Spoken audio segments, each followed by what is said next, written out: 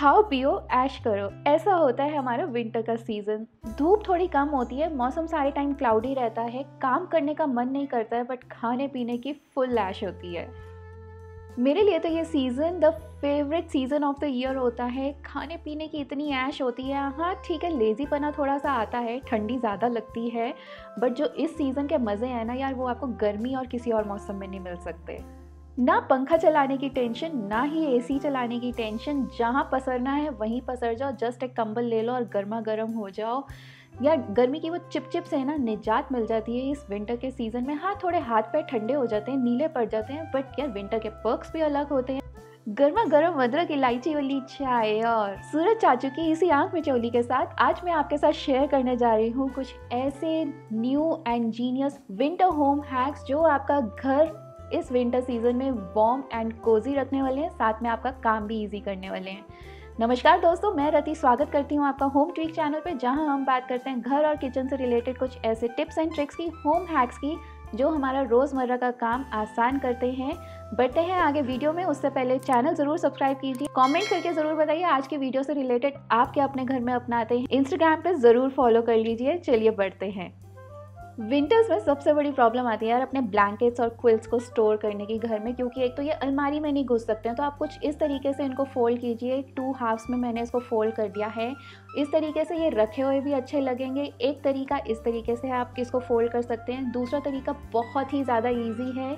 आप इसको इस तरीके से खोलिए और यहाँ पे आप देख रहे हैं पॉकेट बन गई है। सो जो दूसरी साइड है, वो आप इस पॉकेट में लॉक कर दीजिए। अब आप इसको किसी भी तरीके से रखिए। ये ना तो आपका खुलेगा और ना कहीं पर जाएगा। अगर आपने इवन इसको बेड पर थ्रो भी कर दिया ना, तब भी ये खुलने वाला नहीं है। इवन आप इसको एज अ पिलो भी यूज़ कर सकते हो या एज अ क्वेश्चन यूज़ कर सकते हो। सोफे पे भी रख सकते हो। तो फिर से मैं एक बार बता देती हूँ, आप जब इसको फोल्ड कर रहे हो, इस तरीके से पॉकेट बनी है और इस पॉकेट में आप दूसरी साइड इसमें लॉक कर दोगे तो ये कुछ इस तरीके से हो जाएगा। कितना क्यूट लग रहा है ये देखने में भी और रखा हुआ भी बहुत अच्छा लगेगा। आप इसको इवन अलमीरा में भी रख दोगे तो ज़्यादा फैला हुआ लगेगा नहीं और खुल के बाहर नहीं गिरेगा।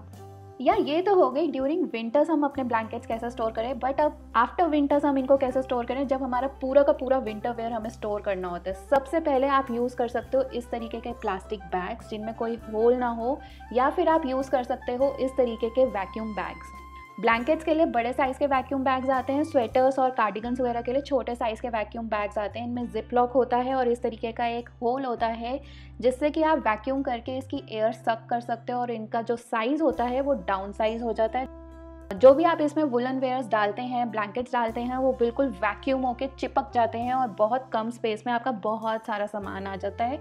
ये vacuum pressed around six to eight months आराम से आप स्टोरेज में रख सकते हो अगर इनमें कोई होल नहीं होता है। ये मेरे पास बड़े वाले साइज़ के भी हैं, इसमें रजाइयाँ एंड डबल बेड के जो हैवी ब्लैंकेट्स होते हैं, बड़े प्यार से आते हैं। बट हाँ ये थोड़े से एक्सपेंसिव होते हैं। मैंने जब लिए थे तब तो एक्सपेंसिव थे। अभी का लिंक मैं आपको नीचे डिस्क्रिप्शन बॉक्स में दे दूँगी बट इनका ऑल्टरनेटिव भी है मेरे पास।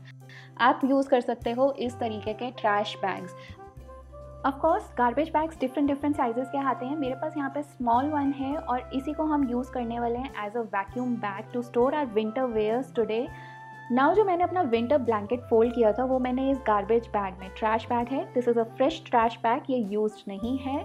सो so, वो मैंने यूज़ किया है एंड उसमें अपना ब्लैंकेट डाल दिया है। देखो कितने अच्छे से आ गया जबकि गार्बेज बैग जो है स्मॉल साइज़ का है। ट्रैश बैग को लॉक करने के लिए मैं इस तरीके का सीलेंट क्लिप यूज़ करूँगी। आप इसमें नॉट भी लगा सकते हो जैसे हम गांठ लगा देते हैं। किसी भी प्लास्टिक के बैग को बंद करने के लिए उस तरीके से भी आप कर सकते हो, या फिर आप इस तरीके का सीलेंट क्लिप यूज़ कर सकते हो, या फिर आपके पास कोई और जो वैक्यूम सील क्लिप हो, वो यूज़ कर सकते हो। यार, अभी जो ये ट्रैश बैग है ना, मोटा ताज़ा हुआ हुआ है ना? देखो, गुब्बारे की तरह बिल्कुल फूला हुआ है कि अभी मैं हाथ मारूँगी और पटक करके फूटेगा। तो इसकी हवा निकालने के लिए मैं यूज़ करने वाली हूँ वैक्यूम क्लीनर वैक्यूम क्लीनर जो मैं यूज़ कर रही हूँ इज़ बाय द ब्रांड कोरियो काफ़ी टाइम से मैं ये यूज़ कर रही हूँ। आपने मुझे इसको क्लीनिंग में भी यूज़ करते हुए देखा होगा। ट्रिक क्या है? जस्ट आप इसकी एयर सक कर लीजिए। इस तरीके से आप इसकी जो पाइप है, लफाफे में लगाइए एक होल के थ्रू और जस्ट हवा सक कर लीजिए। आपको जो इसकी रॉड है पूरी अंदर डालने की ज़रूरत नहीं है। जस्ट एंट्री पे ही आप इसकी रॉड रखिए जहाँ से कि वो एयर सक कर लें। See the magic wow down size हो गया ना, कितना छोटा सा कॉम्पैक्ट हो गया, अब आप इसके ऊपर चाहे तीन चार भी इस तरीके के रख दो, बड़े प्यार से आ जाएँगे। अब मैं इसको इस क्लिप से सील कर रही हूँ। आप इसमें नॉट भी लगा सकते हो। मेरा वैक्यूम बैग छोटा है, इसलिए मैं इसमें नॉट नहीं लगा पा रही हूँ।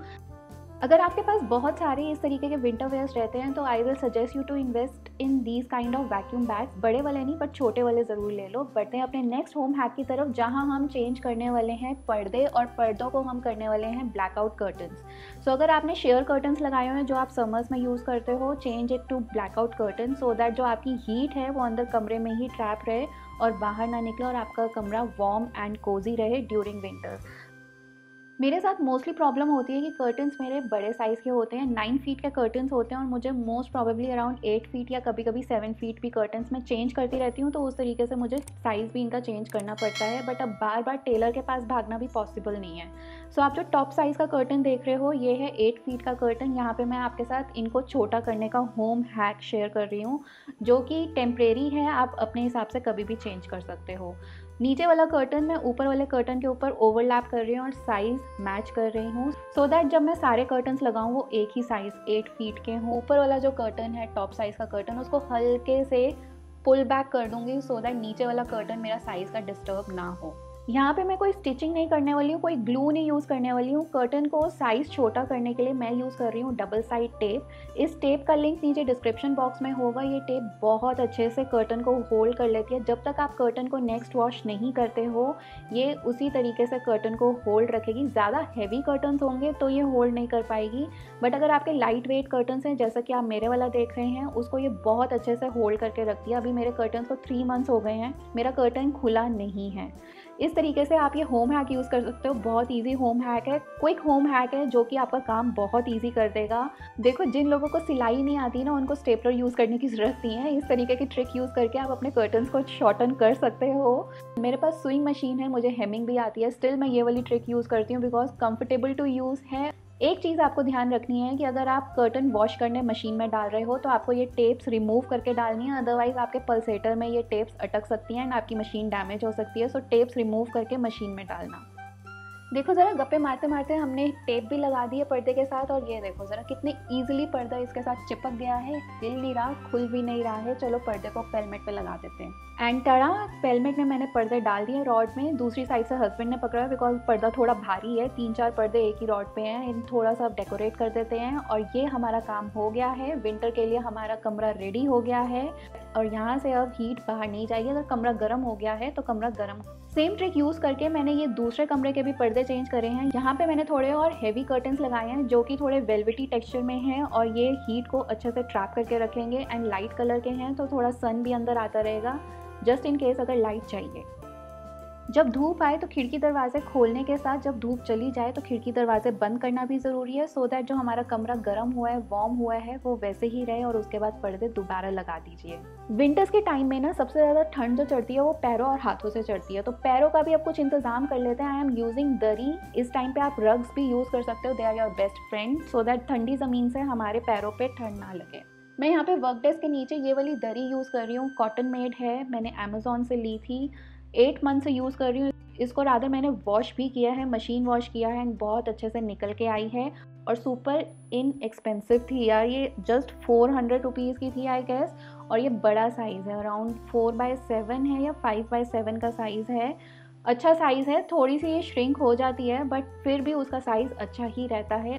ईजिली मशीन वॉशेबल भी है, आप यहाँ पे देखो कितने अच्छे से वॉश हो रही है और चमक के दोबारा बाहर निकल आती है। बिकॉज़ इसमें जो कपड़े लगे हुए हैं कॉटन के कपड़ों से ये गुथी हुई है।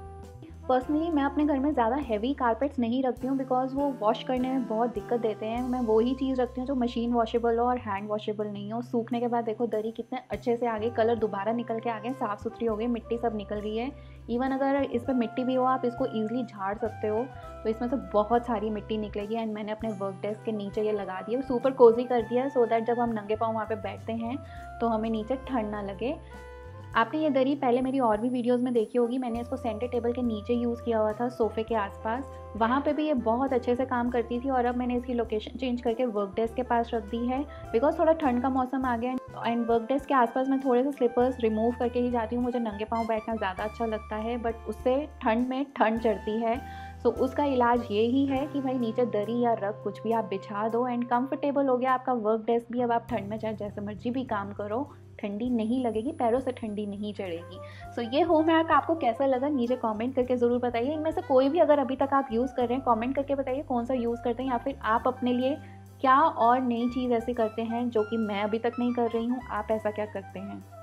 लेडीज़ मेरे साथ तो होता है। आप बताओ, आपके साथ क्या होता है यार? मेरे जो हील्स हैं, पैर की स्किन और हाथ की स्किन ठंडी में ड्राई होने लग जाती है बहुत ज़्यादा एंड उसके लिए मुझे मॉइस्चराइजेशन चाहिए होता है हर जगह। इसलिए मैं इवन अपने सेंटर टेबल पे भी एक मॉइस्चराइज़र रखती हूँ जो कि हैवी अच्छा मॉइस्चराइज़र हो। पैर की स्किन ना इस तरीके से देखो पपड़ी सी निकलने लग जाती है। क्रैक नहीं होती है मेरी स्किन बट मेरी स्किन पर पपड़ियाँ निकलने लग जाती हैं। सो so, उसको सॉफ्ट रखने के लिए मैं यूज़ करती हूँ मॉइस्चराइज़र अच्छे से मॉइस्चराइज करने के बाद ना मैं पहन लेती हूँ सॉक्स और ये मॉइस्चराइज़र हमेशा मेरे सेंटर टेबल पे ही रहता है during winters only not in summers so winter में मैं ये ज़रूर अपने पास रखती हूँ। और साथ साथ जब मैं मॉइस्चराइज़र लगा रही होती हूँ ना थोड़ा सा अपने पैरों को मसाज भी कर लेती हूँ। आपके पैरों में कुछ ऐसे एक्यूप्रेशर पॉइंट्स होते हैं जिनको आपको मसाज करना चाहिए। देखो करते ही एकदम से पैर कैसे मेरे लाल हो गए हैं ब्लड फ्लो बढ़ गया उनमें। सो so, ये आपको भी करना चाहिए। फ्री टाइम में आप जब सोफे पे बैठे हुए हो या बेड पे बैठे हुए हो कुछ बुक रीड कर रहे हो फ़ोन देख रहे हो थोड़ा सा मॉइस्चराइज़र या तेल हाथ में लेके अपने पैरों का मसाज ज़रूर कीजिए अच्छे से कीजिए सो दैट जो ब्लड फ्लो है आपके पैरों में अच्छे से जाए। कभी कभी हमारे साथ ये प्रॉब्लम होती है कि हमारे पैर सोने लग जाते हैं। धीरे धीरे करके ये प्रॉब्लम आपकी ख़त्म हो जाएगी अगर आप इस तरीके से करोगे एंड उसके बाद मैं सॉक्स पहन लेती हूँ सो दैट जो मैंने अब मॉइस्चराइज़र लगाया पैरों पे उससे मेरी स्किन थोड़ी सॉफ्ट रहे ड्राई ना हो। केमिकल के ज़माने में natural products are the best products coconut oil home made D I Y lip balm इस तरीके की चीज़ें आप लोग यूज़ करना शुरू कीजिए। केमिकल से बचिए, अपने को भी बचाइए, अपनी फैमिली को भी बचाइए और स्किन में जितना अंदर केमिकल कम जाएगा, उतना ज़्यादा अच्छा तो वाइट वाइट कोकोनट यहाँ पे जम चुका है। उस, अब मैं कोकोनट के तेल का यूज़ कैसे करती हूँ? ये मैं स्किन पे यूज़ करती हूँ स्पेशली ड्यूरिंग विंटर्स विंटर्स में मैं इसको पिघाल के के अंदर मैं असेंशियल ऑयल्स डाल देती हूँ ऑफ़ माई चॉइस यहाँ पे मैं जो असेंशियल ऑयल यूज़ कर रही हूँ, वो मैं नीचे डिस्क्रिप्शन बॉक्स में दे दूँगी आपको। ये असेंशियल ऑयल यूज़ करने के बाद आपकी स्किन ना एक धीमी धीमी सी खुशबू देती है। ये अभी 17 डिग्रीज पे कोकोनट ऑयल है। बाहर का टेम्परेचर को 17 डिग्रीज था। ये अभी भी पूरी तरीके से जमा नहीं है बिकॉज़ इसमें असेंशियल ऑयल मैंने मिक्स किया था।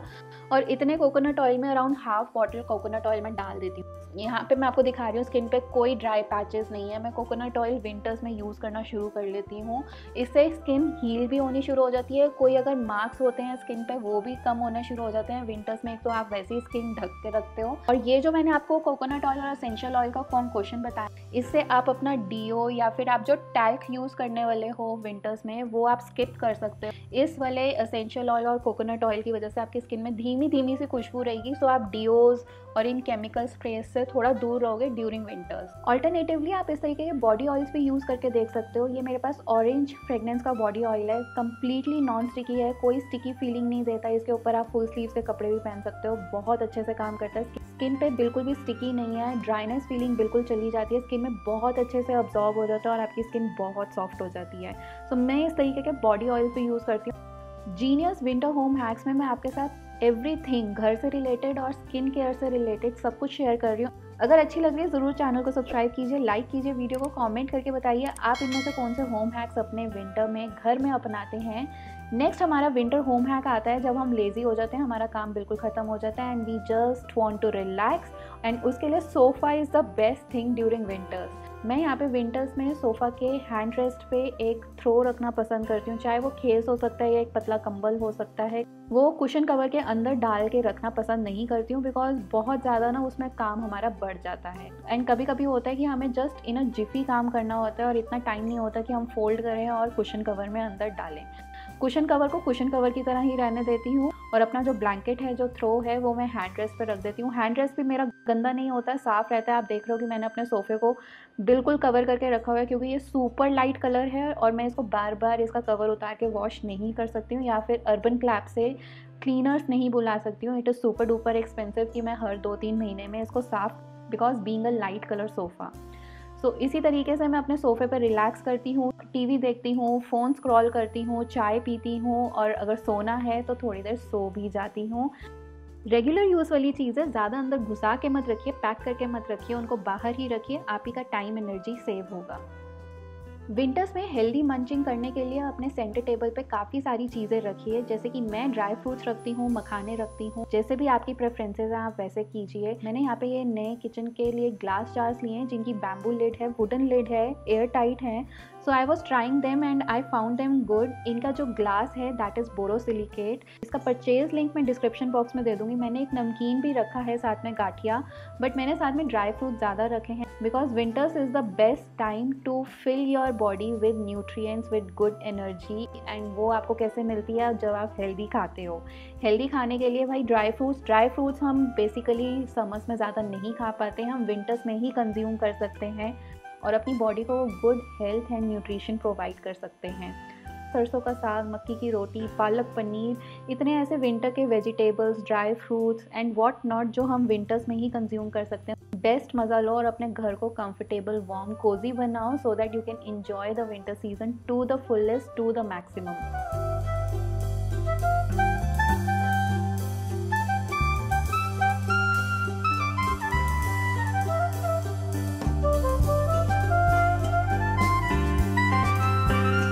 सर्दियों में दिन तो बहुत ही ईजिली निकलता है। सूरज की धूप सेकते सेकते दिन कहाँ निकलता है, हमें पता ही नहीं चलता। बट जैसे ही शाम होने लगती है, हमारी ठंड बढ़ने लग जाती है, कमरे ठंडे होने लग जाते हैं। कमरों को वैसे ही कोजी गर्म रखने के लिए सबसे पहले दरवाजे, खिड़कियाँ बंद कर दो, जैसे ही धूप चली जाती है और उसके बाद पर्दे आगे कर दो सो दैट जो बाहर की ठंडी हवा, वो अंदर ना आ पाए और आपके जो गर्म कमरे हैं, उनको ठंडा ना कर पाए। वाइट लाइट यूज़ करने की बजाय आप वार्म लाइट या येलो लाइट यूज़ कीजिए, उससे थोड़ी गर्मी पैदा होती है और आपका कमरा और गर्म रहेगा कोजी रहेगा उससे। इसी के साथ साथ आप एडिशन में और क्या कर सकते हैं? यूज़ लैम्प्स ऑयल लैम्प्स मैं आपको कैंडल यूज़ करने को नहीं बोलूँगी। कैंडल में पैराफिन वैक्स होती है, जिसका रेगुलर यूज़ हमारे लिए अच्छा नहीं होता है। हम उसके फ्यूम्स इनहेल करते हैं, आपके फैमिली मेंबर्स के लिए भी अच्छा नहीं है और आपके लिए भी अच्छा नहीं है। पूरा दिन घर में हीटर चला के रखना इट्स नॉट फीजेबल इलेक्ट्रिसिटी का बिल भी लंबा चौड़ा आ जाएगा और इन्फ्लेशन रेट्स तो आपको आजकल पता ही है स्काई रॉकेट हो चुके हैं। तो जो अपनी एजेस ओल्ड संस्कृति है ना, दिया जला के रखने की एक तो वो घर में पॉजिटिविटी लाती है, दूसरा वो जिस जगह पे आप उसको जला रहे हो, थोड़े उस जगह को वार्म भी कर देती है। तो उसी का क्यों ना इस्तेमाल करें? मिट्टी का दिया यूज़ नहीं करना तो आप इस तरीके के दिए यूज़ कर सकते हैं। और अगर सेंटेड उसको करना है तो आप इस तरीके से असेंशियल ऑयल डाल के उनको मिक्स करके जला सकते हैं, जिससे कि पूरा दिन आपके घर में खुशबू ही खुशबू रहेगी। तेल का दिया नहीं जलाना तो आप इस तरीके से पानी में तेल ऊपर डाल के जला सकते हैं। वो भी बहुत अच्छे से चलेगा। या फिर आप फुल तेल का दिया जला सकते हैं। मैं यहाँ सरसों का तेल यूज़ कर रही हूँ। सरसों के तेल के थोड़े फ्यूम्स निकलते हैं बट अगर आपको वो भी नहीं चाहिए तो आप तिल का तेल यूज़ कीजिए। तिल का तेल मोस्टली पूजा में यूज़ होता है। तिल के तेल की ज़्यादा फ्यूम्स भी नहीं निकलती हैं, और इस तरीके की आप फ्लोटिंग विक्स यूज़ कर सकते हैं। बत्तियाँ होती हैं, आप कॉटन की बत्ती भी बना सकते हैं, या फिर इस तरीके की बत्तियाँ परचेज कर सकते हैं। लिंक नीचे डिस्क्रिप्शन बॉक्स में होगा, और ये बहुत अच्छे से चलती हैं। Around eight to twelve hours बहुत अच्छे से ये चलेंगी। और अगर आपने इनमें असेंशियल ऑयल डाला है, आपका कमरा महकने वाला है ट्रस्ट में बहुत खतरनाक तरीके से महकने वाला है।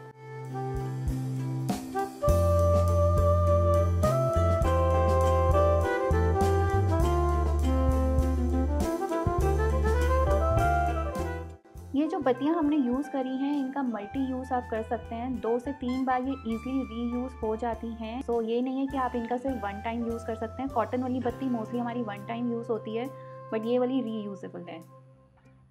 शेयरिंग इज़ केयरिंग हम अपने बच्चों को तो सिखाते हैं बट क्या हम वो अप्लाई करते हैं? डी क्लटरिंग का ब्रह्मास वीडियो में मेरे से बहुत लोगों ने पूछा था कि हम क्लोथिंग किस तरीके से मैनेज करें स्पेशली विंटर क्लोथिंग तो देखिए, मैं अपनी सिस्टर के साथ अपने क्लोथ्स शफल करती रहती हूँ। मैं यहाँ पे अपनी एक विंटर की जैकेट है, जो मेरे यूज़ की नहीं है, दो मुझे आती है बट मैं उसको दो साल से यूज़ नहीं कर पाई हूँ। एक डेढ़ साल हो गया मैंने उसको यूज़ नहीं किया है सो आई आस्ट हर कि अगर उसको वो चीज़ चाहिए और उसको वो यूज़ करनी है। मैं यहाँ पे ये पैक करके उसको कोरियर करवा रही हूँ सो आप इस तरीके से अपने कपड़ों को शफल कर सकते हैं। आपके कपड़े भी यूज़ आ जाएँगे। देखिए फ़ैशन आजकल इतना फास्ट चेंज होता है ना, कि अगर आप अपना एक कपड़ा रखे रखेंगे तो वो बहुत जल्दी आउट ऑफ़ फ़ैशन होगा।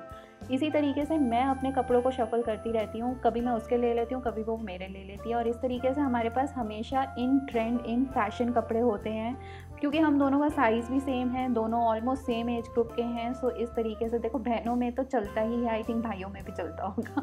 तो अगर कोई मेल्स मेरी वीडियो देख रहे हैं तो आप इस तरीके से कर सकते हैं। फीमेल्स के लिए तो होता ही है। और लेडीज़ आप तो अपने हस्बैंड के कपड़े मार के पहन सकते हो यार। इस तरीके से विंटर में आपके पास भरमार होगी कपड़ों की। तो चलिए, आज का वीडियो इसी के साथ ख़त्म करते हैं। आपको ये 22 smart and genius winter home hacks आपको कैसे लगे? ज़रूर बताओ कॉमेंट करके। चैनल अभी तक सब्सक्राइब नहीं किया चैनल ज़रूर सब्सक्राइब करो. Always remember you are the power house of your house और उस पावर को आपको बरकरार रखना है, चाहे वो गर्मी हो, सर्दी हो, बारिश हो. विंटर हॉलीडे सीज़न को बहुत जम के एंजॉय करो with these winter home hacks और अगर ट्रैवल पर निकल रहे हो do travel carefully corona is back so do travel careful अपना और अपनी फैमिली का बहुत सारा ध्यान रखो. Wishing you the best happy new year